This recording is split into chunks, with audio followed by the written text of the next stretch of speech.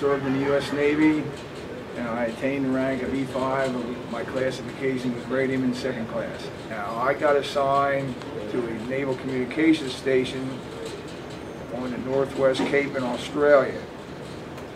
I was I was allowed to go home for, for 15 days leave, and, and then I was to report to um, Travis Air Force Base in Northern California to get on a flight, fly to Hawaii, and then get on another flight to fly from Hawaii to, to the Northwest Cape of Australia.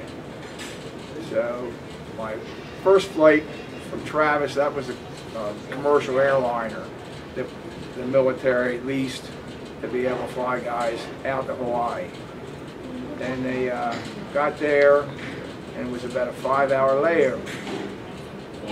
So we just kind of hung out around where we were supposed to be, figuring we didn't want to get too far away, or we might not make it where we were going to go.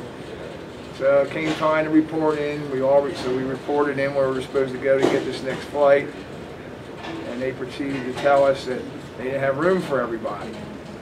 And in the military, there's a, there's a saying that says rank has its privileges. The higher the rank you are, you go. The lower rank guys, they get kicked off. So there was about a dozen of us that were low, low enough rank.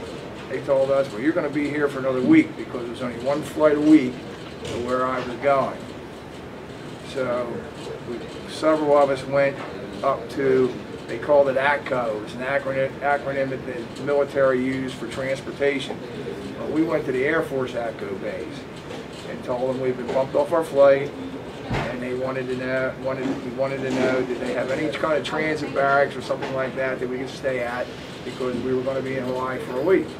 And so they wanted to see our orders. They checked us all out, and then they sent us to a their, one of their transit barracks. So I had like a week vacation in Honolulu, Hawaii, on the military, free. Okay. So we went to Waikiki Beach and we rode around the island. We had a great time. So our week was up. We reported back, got ready to go, and they told us again, don't have enough room for everybody. This time they bumped off higher ranking guys than us. So I spent another five days on the island, same transit barracks, and some of these higher ranking guys they pulled some strings somewhere because we, we they made a special flight for us. So we left, so I was going to spend 12 days in Hawaii, free. So we took off. We flew. We flew from Hickam Air Force Base to an air airfield in the American Samoas. We landed there at night. So other than the airport building, you really couldn't see a whole lot. And we left the American Samoas, and we flew to Christchurch, New Zealand, a Royal New Zealand Air Force Base, and we had a little bit of a layover there for refueling, and then we flew from there to the eastern coast of Australia. We landed at an Australian Air Force Base called Richmond, and that was where the flight crew had to stop. They were allowed to fly so many hours in a 24-hour period. So we had this 24-hour layover. We get off the plane, and there's all these Australian cab drivers go, hey, come on, we'll take you down to Sydney. We'll you, bring you back the next morning. So we piled in the cabs and we went down to Sydney. And they took us to the area, it's called King's Cross. It was where guys from in-country went for R&R. So we stayed in a hotel overnight. We went out and partied with the Australians and their bars and stuff. Came, come back, went to bed, got, got next morning the cab driver's there. He took us back to, up to the Air Force Base, got back on the plane, and we flew all the way across the, to Australia. Now, where I was going in Australia, if you laid a map of the United States over Australia, I was up in this in the Washington, Oregon area. Okay, the biggest city on the west coast was down near Los Angeles. In between was pretty much nothing. All the big population areas on the east coast of Australia. We landed, we landed, and it's desert. It's 100 and some degrees. We get off the plane. We go get on a non-air conditioned Navy school bus, and ride 30 some miles to where the base is. And we get there and we get off and we're met by people and they get us herded into where we're supposed to go and where we're supposed to live and all that kind of stuff. And, and then after, it took a couple days to get every all get us all settled in and to find out where our assignments were going to be. I went to a place called the my I got assigned to a, a place called the Message Center, and what that was, anybody that wanted to send information or talk to anybody on the base I was on, that all came into where I worked. Anybody on my base that wanted to talk to anybody out in the world, that all went back out through where I worked.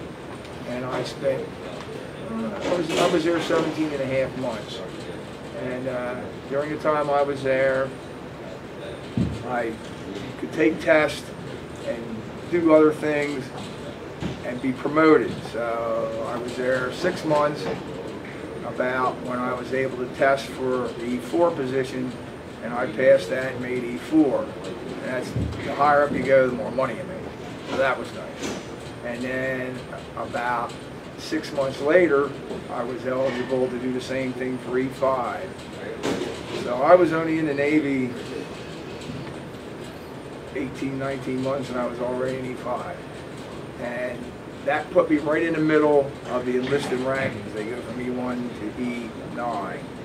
And where I worked, our supervisor was an E6 or first class. And I was like the assistant in there when he didn't come to work and I was the boss. Okay, and um, it just happened that near the end of my tour, the fellow that was my boss, he had to leave. He went home on emergency medical leave because his mom got real sick. So then I became the boss. And then when his replacement came in, I had to train his replacement so then he could take over when I left. He actually took over before I left. And uh, while I was while I was in Australia, they had uh, we could play. They had an intramural softball league. They had bowling alley. They had swimming pool, uh, basketball courts. You could go fishing. My base Cape stuck out from the mainland 33 miles, and we were three miles from the end of the Cape. And you could drive up to the end. They had a great big pier there that people could fish off of. Um, three guys, while I was stationed there, caught this fish called a grouper that weighed over 600 pounds.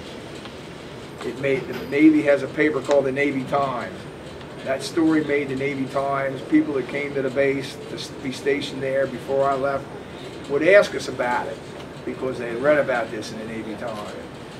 And uh, I, I played mostly softball, flag football. I was a pretty good, we played, we played something called fast pitch softball. And I was a pretty good player. I played third base. I played for the message center where I worked. Um, one season, part of another one around December of 67, there was a communications unit in Christchurch, New Zealand, and issued an invitation to our base to send a softball team to New Zealand to play New Zealand softball teams in a tournament. So I ended up being the starting third baseman on that team. So we flew to, um, almost about two weeks before Christmas. We flew over to New Zealand and stayed there for a week, played softball sometimes twice a day. And back then, they played softball in New Zealand like baseball is here. Everywhere you went, there was softball field. Everybody's playing softball. Uh, we ended up beating everybody that we played. So they asked us, would we mind playing a team of all-stars? And we said, sure, we play. So we played this team of all-stars a park that held 12,000 people, it was packed. I never played in front of that many people before, most of the time half a dozen maybe, you know. So we played this game, and we won two to one. So that was pretty neat. So when we get now, we get ready to go home. And what do you think happened? They don't have enough room for everybody to go back. So they asked for volunteers. So the married guys got they were taking them, and there was about a half a dozen others. Well, I had met a fellow at the communications unit. He was from Perkasie. He played. He was a year. He was in, with the Pennridge. He played soccer. He graduated in '65. I graduated in '64 from Central Bucks. We knew each other. Once we saw each other and got to talk, and we realized we played soccer against one another. Well, I stayed with him the second week, and that was over Christmas of '67. So I spent my Christmas of '67 in New Zealand. And New Zealand was a neat place where the landscape. I don't know if any of you have been to Michigan, but it reminded me of that a little bit. And um, they had old American cars yet on the road from like the 40s. We, somewhere I have a picture of me sitting on a running board of a car on a, in a street in Christchurch, New Zealand. And uh, we, okay, then we, next next flight took us back to Australia, and then about less than a month, I left I left Australia the 7th of May in, 60, 70. And less than a month before that, we got word that there was a tropical cyclone coming.